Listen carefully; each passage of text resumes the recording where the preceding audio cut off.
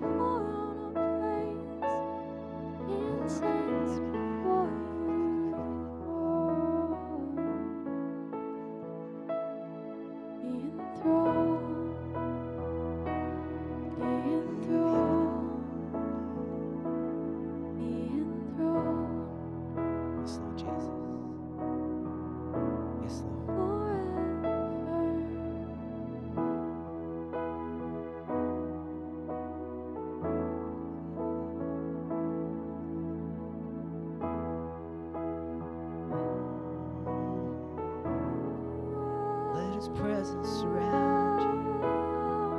Let His presence surround you. Let His presence surround you. Let His presence come down upon you. Let His presence wrap itself around you. Let the presence of Almighty God be felt. Let the presence of Almighty God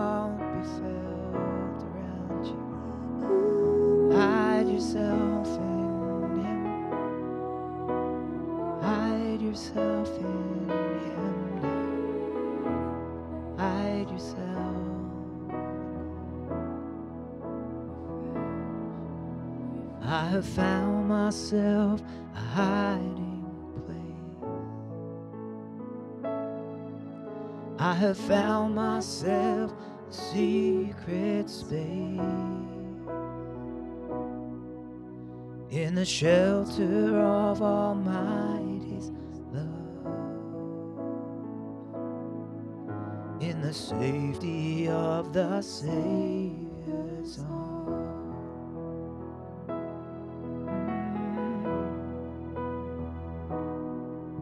I have found myself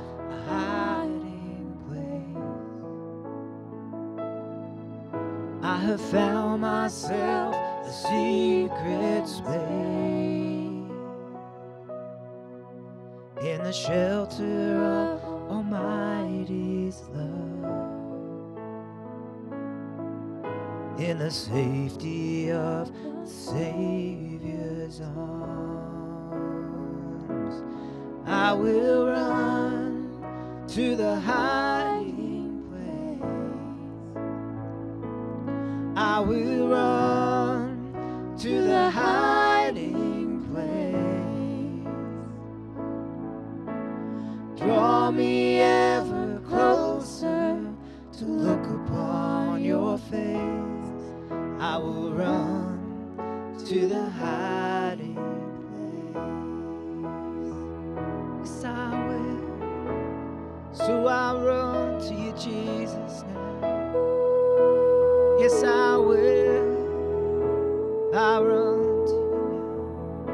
I have found myself a hiding place. I have found myself a secret space in the refuge of the Father's care, in the cleansing blood of Jesus there. I will run to the hiding place. I will run to the hiding place. Oh, draw me ever closer to look upon your face. I will run to the hiding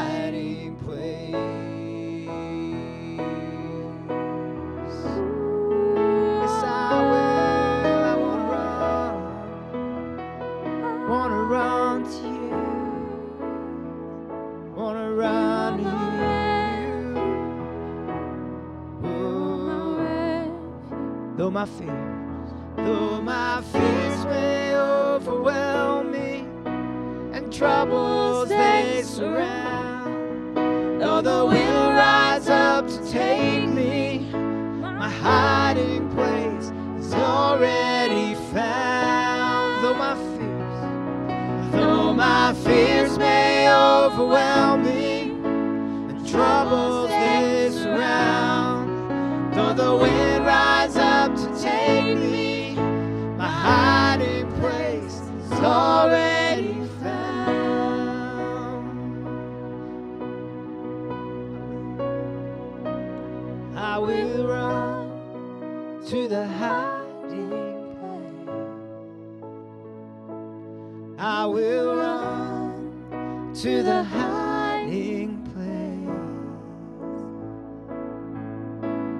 Draw me ever closer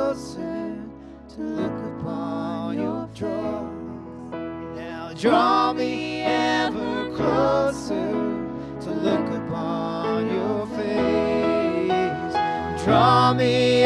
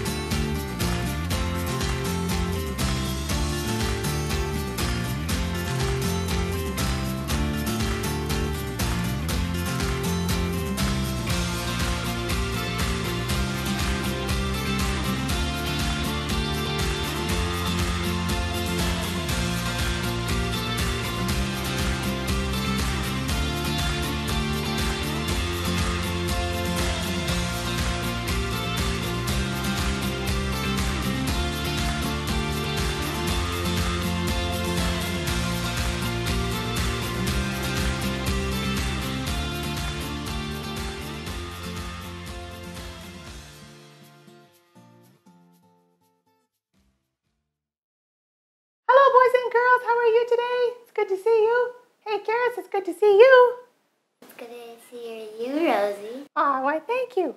Hey, Karis, what have we been talking about lately? Jesus and his disciples. Jesus and his disciples. And what kind of things does Jesus do for his disciples? He teaches him He teaches them like about the kingdom, about the kingdom. Oh, that's good. And Jesus gives us a new identity. identity and purpose. Yeah. And purpose. And remember, we had the heart pillow. What was that all about? Loving. That's right. Jesus loves us. Yep. Absolutely. He sure does. And what did we learn last week? He Prayed. he prays for us. That's right. Yeah. And Jesus tells his disciples about the future. He wants to tell you about the future in your future. Um, Jesus empowered his disciples with his. Remember, he told them to go out and, and they could do miracles in his in his name. That's right, in his name. Yeah. So Jesus did a whole bunch of things for his disciples. And what are we going to talk about today, Rosie? Um, oh yeah, Jesus appeared to his disciples. Like after he rose from the dead, he appeared to them. And sometimes it was just like, ta-da! Jesus just appeared, just like that. Hey, Jesus. Hi, Jesus, you just appeared. That's pretty cool. Jesus appears to his disciples. That's right. Yeah, he appeared to his disciples. You know, he did that a lot. He did that. He did that at least four or five times after he rose from the dead, and he appeared to his disciples, just like he just appeared just right now. That's pretty fun, eh? Yeah. Yeah. So, like when right after he rose from the dead, he appeared to two ladies, and that they were going. They were just the the angel had sent them and said, "Go tell the disciples that Jesus is alive." Yeah, and then just Jesus just showed up and he said, "Hey, it's me." And yeah, and then the ladies they knew that it was him, and then they told Jesus that they they told the disciples, the other disciples, that they had seen Jesus, right? Yeah, and how about when when Jesus came to two disciples on the road? Yeah, he was walking on the road. Can you show us, Karis? Walk on the road? Yeah, Jesus just just walking on the road, and there were two disciples, and they didn't even recognize him. The Bible says, and then Jesus taught them about everything in the scriptures that talked about Jesus and why he came and how he came and what he had to do. And they were just walking that whole time, right? Yeah, yeah. And then all of a sudden, when they stopped with him, and they then, yeah, then they, they finally figured out that it was Jesus when he disappeared. So, like, that's like poof, disappeared, just the opposite of, of appearing, disappear, right? Yeah, the opposite. But Jesus appeared, so I think we'll keep him here. Is that okay? Yeah. Okay, yeah. And then Jesus, all once after he rose from the dead, all the disciples got together in the upper room, and then poof, Jesus appeared right in the middle of them. Yeah, just bang, just like that. Yeah. And it says that the disciples were really, really scared. And he said, Hey, don't worry about it. It's just me. And he showed them who he was. And then he ate some fish. And, and then the disciples were very happy that it was Jesus. And again, Jesus was, he told them all about himself. And he told them why he was going to come and what was going to happen, right? So Jesus just appeared to his disciples. But what's really neat is that Jesus wants to appear to us, to you, and to me. Really? He wants to appear to you, yeah. And he does all the time, right? Jesus says in the Bible that he is with us all the time. He says, I'm never going to leave you. I'm never going to forsake you. That's just another word for leave. I'll never leave you. I'll never forsake you. I'll be with you all the time. And how is he with us all the time? Do you know how is he with us, Karis? Do we see him all the time with our eyes? I don't. Well, except for you, Jesus. Do we see Jesus with our eyes all the time? Not really, right? Yeah. Sometimes Jesus shows up, and actually he is he has been showing up to people all the time. He showed up to the apostle Paul, and this was even after Jesus went back up into heaven. He showed up to Paul on the road to Damascus. Paul was riding a horse and he was going to go persecute some Christians, and then Jesus showed up, and Paul is explaining about that later when he was in front of one of the kings, um, the King Agrippa, I think it was. And um, yeah, he just said, and Jesus appeared to me, and he said, Paul, Paul, why are you persecuting me? That's right. Yeah, that's exactly what he said, Rosie. And then Paul said, Who are you? Because it was just like a bright light. And Jesus said, I am Jesus, whom you are persecuting. And so Paul totally changed his life around, and he went on to write most of the New Testament that we have today, right there. Yeah, mostly from written from Paul, right, Karis? Yeah. Yeah. Okay. So Jesus appeared to his disciples, and he appears to us today, but we don't always see him with our eyes. How does he appear to us, and how do we know that he is with us? Karis, do you know? I know. You do? Rosie? Yeah. Jesus said, He said that He was going to be with us. So should we believe Him when He said that? Yes. Yes, he, we should believe Him, right? We should believe, believe every time he says something. We should believe that thing. That's right, because Jesus is the truth, right? Yeah. That's right. He said, He never- I am the way, the truth, and the life. He never tells lies. He never tells lies, does he? No, that's for sure. So if he said he was going to be with us all the time, should we believe him? Yeah, I think so. I think we should. Yeah, and you guys can practice. You can practice like when you're praise and worship, that's an easy time to practice. You practice and you just spend time focusing on Jesus and you'll be able to feel him. Right? Have you ever felt him, Karis? Have you ever felt his presence? Yeah. Yeah, and what does it feel like? Feels like It feels hard. hard down down down in your heart right here Mhm. yeah and it feels like warm right Yeah. and it feels like i know for me it feels like my heart is really really full right? I can feel his presence very close and it, it feels full in my heart. I don't know how else to describe it but but jesus comes with his presence. And there's a verse that says where two or three are gathered in my name in other words they're coming together for jesus so like church like every time we come to church it says there i will be in the midst of you. I'll be with you right there with you just like jesus is right here right Karis? Yeah. Yeah, just like Dad and just like Rosie, like just like you're here. You're here in the midst of us. Karis, you're here in the midst of us. And Jesus is here in the midst of us now, right? Yeah, so when we get together in his name, Jesus is in the midst of us. All right, well, Zoe has a little clip and she's going to teach us all about how to see and feel Jesus. Take it away, Zoe. Did you know Jesus wants to show himself to you? Jesus came to his disciples a number of times after he rose from the dead. Sometimes he came to them, and sometimes he just appeared out of nowhere. Just like that, there he was. Jesus even appeared to Paul after he went back to heaven, and he has appeared to many people since then too. Most importantly, Jesus wants to appear to you. How does he do this? Well, some people have seen him with their eyes, but most of the time, Jesus is there in the Spirit, and we can feel or sense His presence. We can learn to get better at sensing His presence, especially through worship and prayer, and just spending time with Him. Remember, Jesus told His disciples He would never leave them or forsake them, and that's true for you too. He also said that where two or three of us are gathered in His name, He will be there with us, even today. Remember that Jesus wants you to know that He's there with you. He wants you to feel Him. Let's ask Him today. Dear Jesus, you have said that you are always with me. I want to feel your presence more and more. Help me to know you are there. Show yourself to me. In Jesus' name, amen. Well, thank you. Thank you, Zoe. That was great. And I know that Jesus is going to be with us all the time. Uh-huh. I can I think I can even feel his presence right now. You can, Rosie? Yeah. Jesus is with us. Isn't he, Karis? Yeah, he is. And so even if you don't feel him or you don't see him, Jesus is still with you. And that's he is appearing to you and his presence is appearing to you as well, right? Okay. Hey, Karis, do you want to do a memory verse? Yeah. All right, let's do a memory verse. Okay, the memory verse this week is Matthew 28 20. Can you say that? Matthew 28 20. Jesus is talking to his disciples, and he is saying, Lo, I am with you always. Lo, I am with you always, even to the end of the age. Even to the end of the age. Hey, are we at the end of the age yet?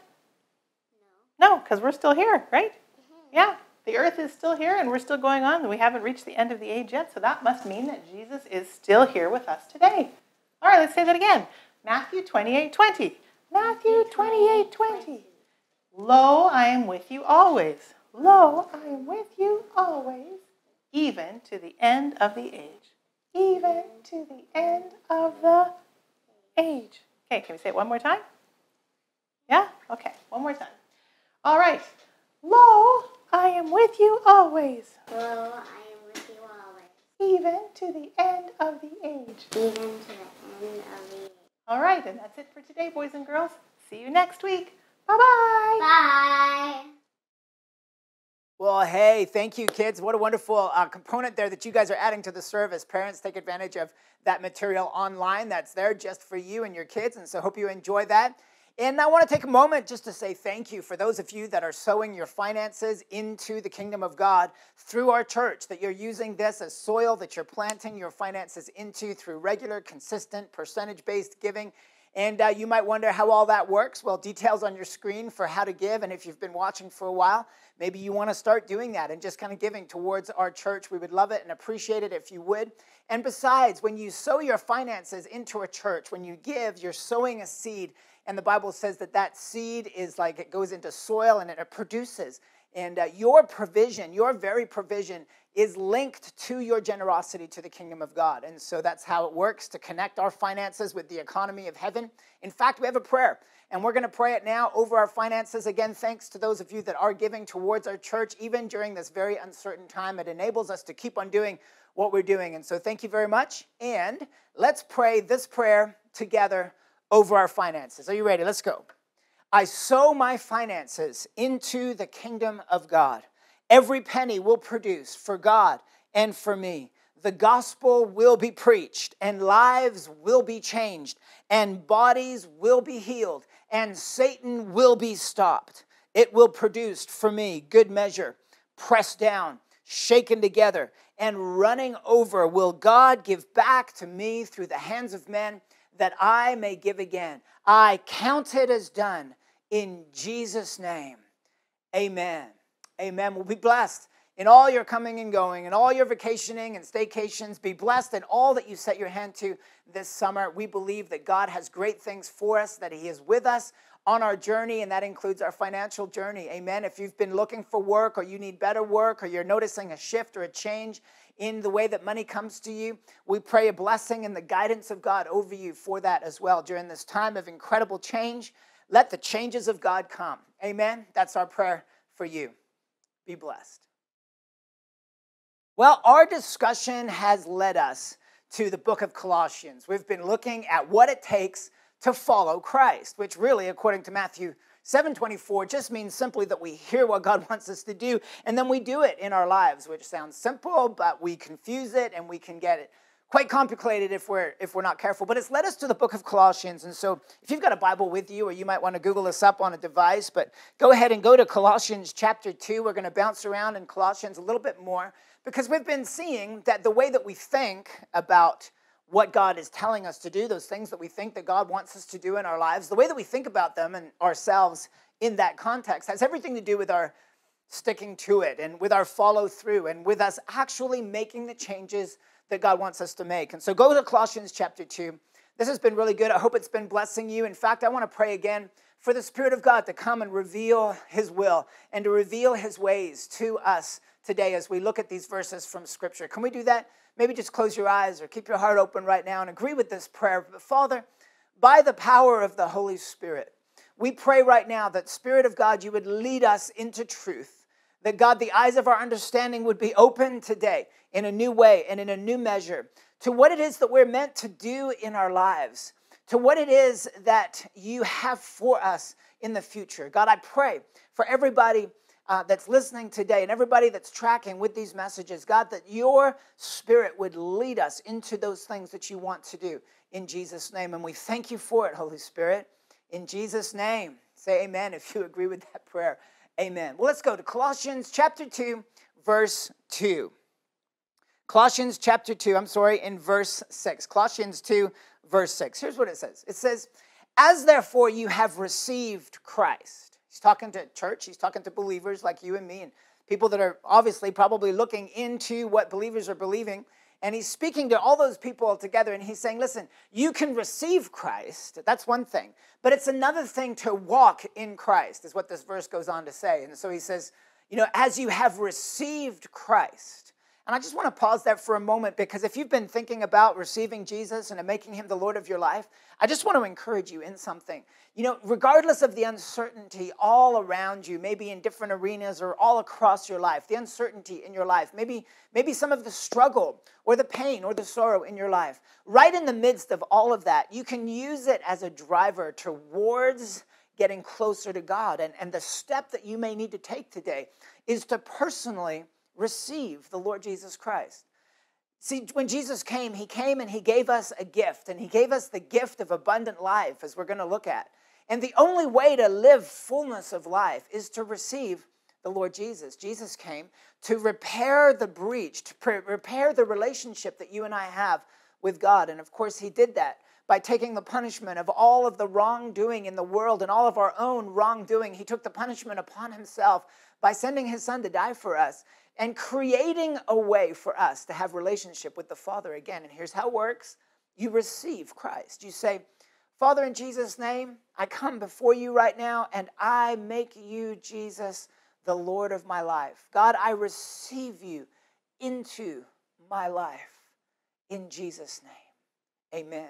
Now, if you pray that prayer or something similar, that wording around that prayer, and you open your heart up to God, we would love to hear about it. You can get a hold of me right in the comments below or personally at hello at gatewayvictory.com. I'd love to hear from you because that starts a journey in your life towards fullness, towards all that God has planned for you. I'd love to ch- chat with you more about it. But here's what this verse says Colossians 2 6. It says, As you've received Christ, so walk in him. You can see that there in your Bibles. That's what it says.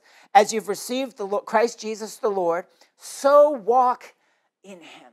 In other words, we've received him. Now that causes us to live a certain way, to walk through the journey of life. And the Bible is replete with ex- examples of how our walking through life or how our living life is going through a journey and it's walking down a path. There's a direction that we're going in our lives. And it says, as we've received Christ, so walk in him, which is really interesting wording, isn't it? Because in there is a bit of a mystery that we're going to begin to unpack over this week and next week of what it means to walk in him.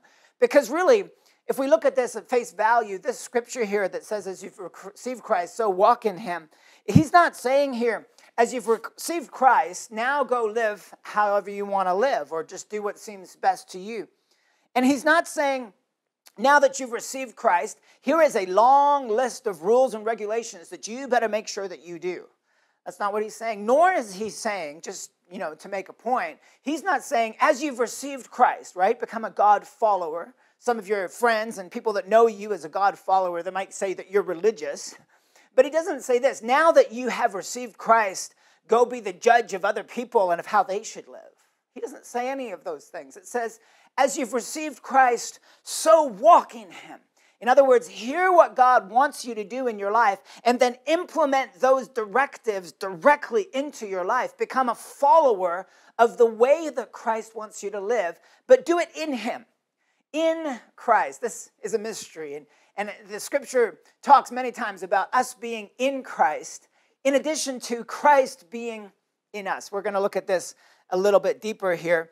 Let's go to Colossians chapter 1. Colossians chapter 1 verse 9. And this is the opener of this letter um, to the church. And, and, uh, and the writer, Paul, the Apostle Paul, here's what he says He says, I'm praying for you. And here's what he's praying. He says that you would be filled, this is in verse 9, second part of the verse, that you would be filled with the knowledge of his will. I want us to stop there for a moment. It is possible for you and me to be filled with the knowledge of God's will. Let's look at that. Let's look at the, the wording around that. It says to be filled. This means, and, and I looked it up and just kind of run some searches. This word filled, it's translated filled. In the original manuscript, it means it means if you like two different senses to it, it means being crammed full. How many of you have recently written an exam or taken some extra training and had to had to be examinated on it, and you found yourself in this mode as maybe you've you, maybe you're in school, junior high and high school, and, and you know what this is well like to study all night and to be crammed full of that information. It means to be packed, to be filled.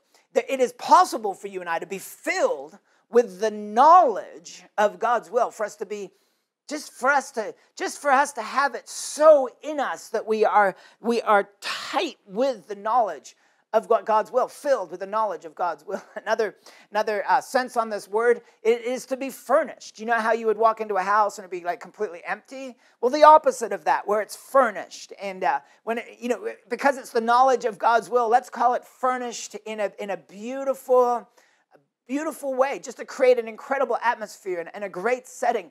Your life, your mind, your awareness of what it is that you're meant to do. Imagine that Imagine it being furnished, like fully furnished, where there's no deficit, where there's no lack, where there's no holes or gaps. Imagine you being filled with what it is your creator, the one who knows you the best, wants you to do and how he wants you to operate in life. And so it says to be filled with the knowledge of his will. Let's look at that word knowledge. It means a recognition of what God's will is to recognize what it is that God would want you to do, a recognition of the will of the Father for you.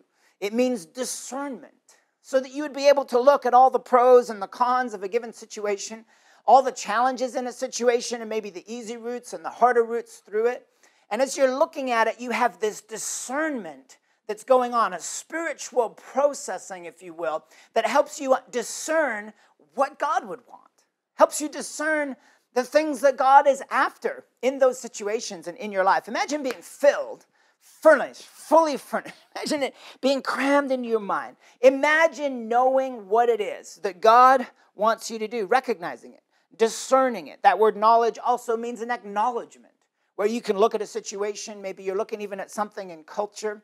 Maybe you're looking at something that your friends are going through, or maybe in your own life, and you can acknowledge, you know what? Of all the uncertainty here and of all the things I'm not sure about, I acknowledge that that is God, that God is operating here. God is doing something in my life or through my life or in society, that I acknowledge that. Imagine you being filled with all knowledge, discernment, acknowledgement, recognition of what it is that God wants to do, His will, all right? His will. Filled with all knowledge of His will.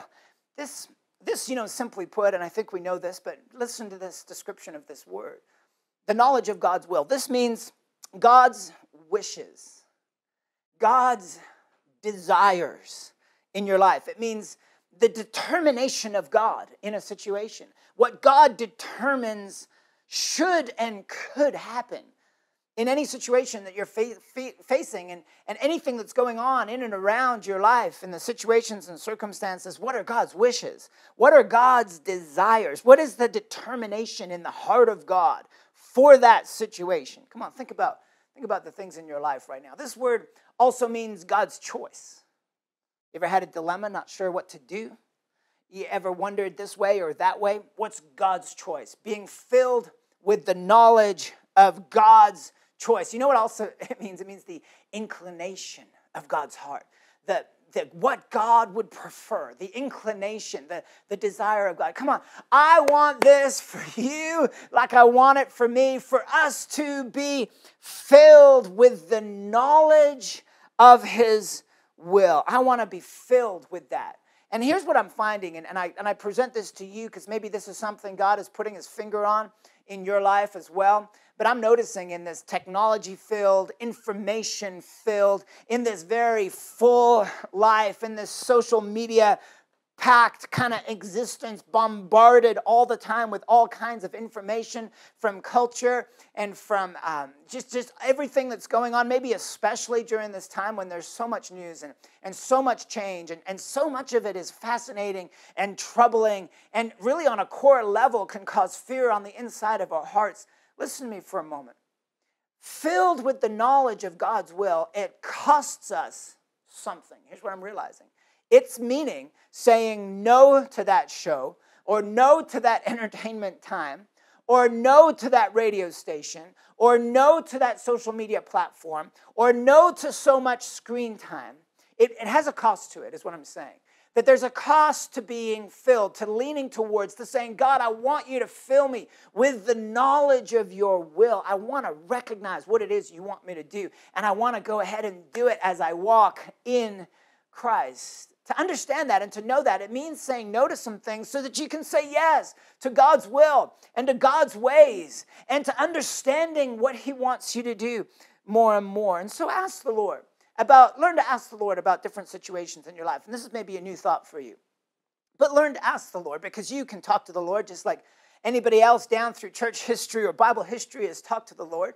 You can go ahead and talk to the Lord. Start a conversation with Him around these lines. You pick a situation or a circumstance, something that you're facing, something a loved one is facing in your life, maybe maybe uh, maybe a real challenge or something that's been really hard for you lately, and you say this, and you say, God, can you show me what you want?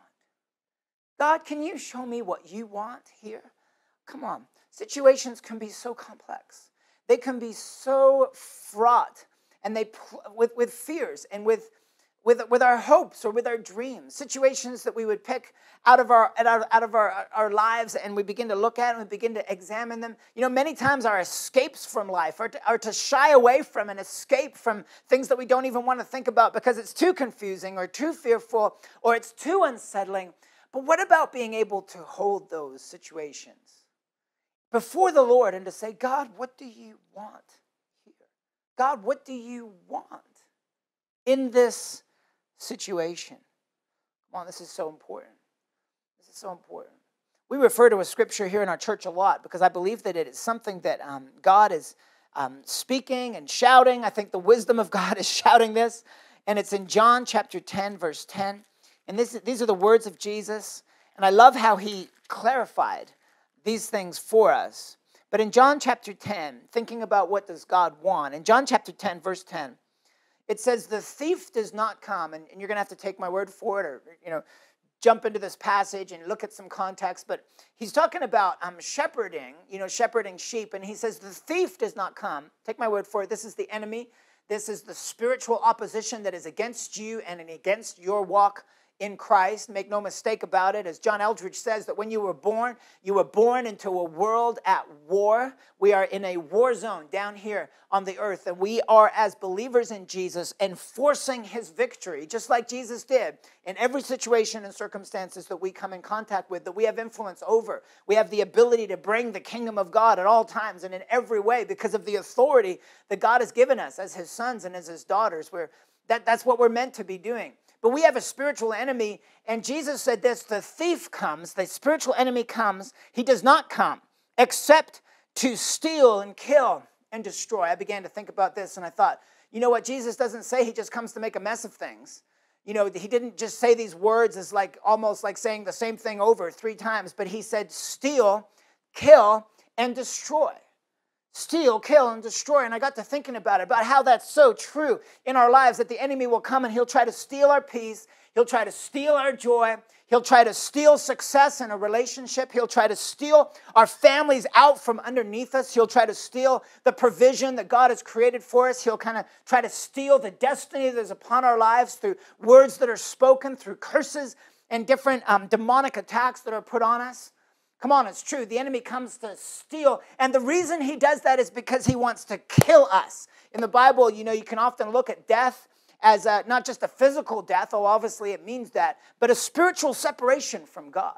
Where death is me living separated from God. And so I can be dead, though alive, right? Do you understand what I mean? I can be living a life, but all the joy and all the life and all the energy and all the hope has been stolen from me. And we get pushed down, down, down in our lives by the enemy. He comes to steal, he comes to kill, separate us from God. And you know, ultimately that results in a physical death, and we know that. And the enemy wants us out of the way. The enemy wants us dead. You know, if the enemy can't stop you from following the Lord Jesus, he wants you out of the way. He wants you nullified. He wants you, he wants to mute your influence in the world. That's what the enemy wants to do. He wants to kill it and he wants to separate you from God. And you know why? Because he wants to destroy your legacy. He wants to destroy your influence of the kingdom of God through other people. For you are one in whom life dwells. The life from God dwells in you if you've received the Lord Jesus Christ, as we're going to see. It says here the thief does not come except to steal, to kill, and to destroy. That is the enemy's plan on the earth and over your life and over your family. But Jesus said, I have come that you may have life, that you may possess life, that you may have it and hold it, that it would be yours, as we're going to see from the book of Colossians here. It says that God has come to give you life. If you've received the Lord Jesus Christ, you have the life of God on the inside of you. So Jesus said, I have come that you may have life. And then he says, life more abundantly. That's what that verse goes on to say. He says, life and to have it more abundantly. That has a violence to it in that, in that wording. It has an abundance and a fullness and a violence to it in that it is the life that is on the inside of you, that is a lifeline for the people that are around you. That's the way that Christianity works. God has us here on the earth full of Himself to display His goodness to the people around us. That's why God has us here. And so here's what we need to think about when we think God, what do you want here? There's a diagnosis that comes in from the doctor and it's pretty grave. God, what do you want here?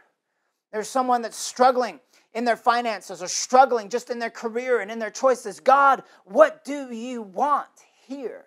It, see, we need to learn to ask about every situation in our lives. There's a struggle in a marriage or struggle in a, in a family, and, and there's just strife that has come in and there's harsh words that are spoken. God, what do you want here? Where there's brokenness and where there's broken expectation and broken dreams, where, where, where a life is shattered by the, by, the, by the hand of the enemy. God, what do you want? And when we come to discern what the knowledge of His will is, what God wants, then you and I are equipped and empowered to enforce it in those situations that are in our lives, that we have spiritual authority, that are in our spheres of influence around us. Come on, we want to know His will, not just so that we can say, you know what, when we all get to heaven, that's going to be wonderful to have it up there. No, we know His will so that we can apply His will by faith in every situation and in every circumstance. Let's go back to the book of Colossians because we need to ask over areas of our lives. You know, if there's a habit that's just dogging you, that's just still in your life, maybe, maybe, maybe, maybe swearing, or maybe negativity, or maybe um, a habit that you know, just a physical habit in your life, yet alone thought pattern habits, or a spirit of rejection over you. We need to ask ourselves, God, what do you want? God, I'm willing to embrace. I want you to do this right now. Be willing to embrace, maybe for the first time in a long time, maybe for the first time ever, the answer to the question God, in this area of pain, in this area of struggle, God, what do you want? And then to weed out of your life those influences that would fill that space with other things, the ways that you escape, the ways that you don't think about it, the ways that you fill your mind with other things. Come on, to wean yourself off of those and say, God, I want to be filled with the knowledge of your will. That's a great question to ask. God, what do you want? And here in that verse, in Colossians 1, verse 9, it says this that we would be filled with the knowledge of his will in all spiritual, and all wisdom and spiritual understanding. and all wisdom and spiritual understanding. You know what wisdom is in the scripture whenever you see this in the book of Proverbs and Corinthians, and here again in the book of Colossians, it talks about the wisdom of God or spiritual wisdom and understanding. This word wisdom means the ability to live life skillfully, right? I mean, it means, it means to take the resources and the ability and the strength and the time that you have and to live life skillfully, with intention and with discipline in your life. Spiritual wisdom, the ability to live life skillfully. I'm sure you don't have to look very far into friends or family members and you say, you know what, that just wasn't very bright. It just wasn't very skillful. You, know, you can probably look back in your own life. Like I can look back in mine and say, you know what, that I just wasn't very skillful. Listen, from a spiritual perspective, we get to live our lives successfully and skillfully. Spiritual wisdom and understanding. Spiritual wisdom and understanding. And he goes on to say that you may walk worthy of the Lord, pleasing him in all you do. Pleasing him in all you do. Imagine. Fruitful in every good work. Right out of Psalm chapter 1. Fruitful in every season of your life. So ask the Lord, God, what do you want here? God, what do you want here? Even over the three directives, maybe you've begun to pen these or journal these, or you've, maybe you've got three things written down. This is the challenge that I've been putting out for several weeks now to say, God, you know, as a follower of the Lord Jesus Christ, God, what do you want me to do in my life? So that I can build a life and build a, a legacy here on the earth with the, the time and the energy and the resources that I have left. God, what is your will for me? And of all the long list of things you might be able to guess that the Lord wants you to do, to pick three things that God wants you to do now, here, and in this season. I tell you what, we prayed over last Tuesday night for all of you that are beginning to think those things and write those things down. We began to pray for you that there would be a spirit of grace and anointing and ability over you. Some of you trying to stop things, some of you trying to start things, some of you trying to let go of things that have that have just clouded your life, been a shadow over your life for years and years and years. We are praying for the changes of God over your life. And as you begin to contemplate these things, I want you to ask the Lord, God, in this area? And don't allow yourself, don't allow yourself the luxury, as it were, the seeming luxury, as it were, of concluding, you know what, I think I know what God would want, but He probably wants that for someone else and not me. And so, therefore, I can just go ahead and live the way that I want to live. Mm-mm. Allow the discomfort, allow the pain, allow the hurt of God, I think you want this for me. This would be abundant life, but I don't have it and I don't see it and I don't know how to get there. Allow yourself the discomfort of putting up as a mirror the word of God that says, I have this for you and allow yourself that pain. Allow yourself the contrast between what God is speaking to you that He wants and what you actually have. And then say, God, if you want this for me, God, I'm asking you to show me how to walk in Christ, even as I have received Him. How to walk in Him, even as I have received Him. Listen, once you understand what God wants for you, that's where faith is birthed. That's where faith is sparked on the inside of you. And faith and patience, the Bible says in James 1, are the power twins that will get the job done. And you will be lacking nothing. Hear me out. Stand before the Lord. Sit before Him in the morning and say, God, what do you want? In this situation I'm facing at work, my finances, and my health, and my life, God, what would you want? What is normal here for the kingdom of God? God, show me what you want. And when He shows you, according to the abundant life that He has promised you, when He shows you, say, God, I want that too. I want that too. And I will pray and I will build my faith and I will change what I say and I will change my expectation and I will walk in Christ even as I have received him in my life. Come on, church, I believe that this is what God wants us to do as we move through the end of the summer here in 2020. I believe there's so much that He has for us in the weeks and the months ahead as a church. You know, as we begin to meet again regularly starting in September, stay tuned for details about that. I, I want this for you and I want this for me that we would learn what it is that God wants and we would see the miraculous and we would see the change. Know that our prayers are with you and that our um, expectation of God is high for you in your walk in Christ. Praise the name of the Lord. Come on, let's go ahead and pray even right now. Close your eyes with me if you're comfortable with that, but open your hearts and let's pray. Father, in Jesus' name, we believe you today for your anointing and your ability in us as we contemplate these changes, as we look at what it means to follow you in this broken world and in many areas of brokenness in our own lives. Father, we come before you to say, we're so thankful we've received you.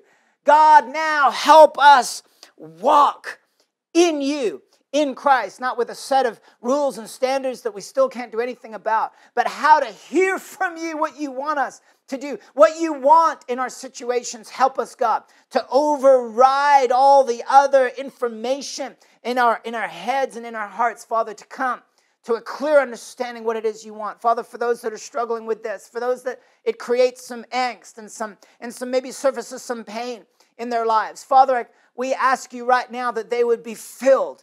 I ask that they would be filled with the knowledge of your will by the Holy Ghost and by the Spirit of God. Let them catch a glimpse of what you have for them. Even though the enemy has lied to them over and over and over and over again in their lives, that they would catch a glimpse of what the abundant life would be like for them. That the life that God has given them, that they hold it and have it on the inside. And it's just a matter of walking in Christ to see those things fulfilled. Father, I pray for the knowledge the knowledge of your will for each and every one. And Father, I thank you for it. And I thank you, Holy Ghost, that you help us implement these things. Father, if there's been mistakes, if we've tried things and let them go, or if we've thought about it but we haven't followed through, we plead the blood over all those things in our lives. We thank you, Father, that the blood of Jesus, it reconciles us to God. It continually cleanses us from all unrighteousness. And here today, Father, we stand up in our faith. We wake up in our faith to live the abundant lives that you want us to live. And Father, we thank you for it.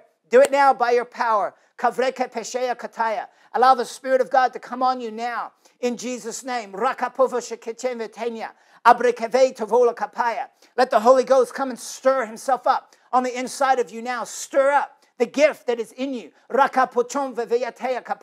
Thank you, Holy Ghost. Mukovra. Thank you, Holy Ghost. Come on, take a drink. Take a drink right now from the well. Take a drink from the well of life, which is in Christ Jesus, your Lord. Take a drink right now from the river of life that flows from the throne of God. For the Bible says everything will live where that river flows. Come on, take a drink right now. Turn your eyes, turn your hearts, turn your heads towards heaven. Right now, come on, receive the anointing of the Lord. Receive the ability of Almighty God over every situation and circumstance and everything on the inside of yourself. Even in your physical body now, I declare healing. And I declare, I declare freedom in your mind. I declare freedom in your mind right now to think the thoughts of Christ in Jesus' name by the power of the Holy Ghost. Mokoshka, mekebrevevendiatea, abravo andeliasaya. Thank you, Lord God. We declare fullness of life over our lives and over our church in Jesus' mighty name. And everybody said, Amen. Amen. We'll be blessed the rest of your day and the rest of your August and your summer. I hope you enjoy it.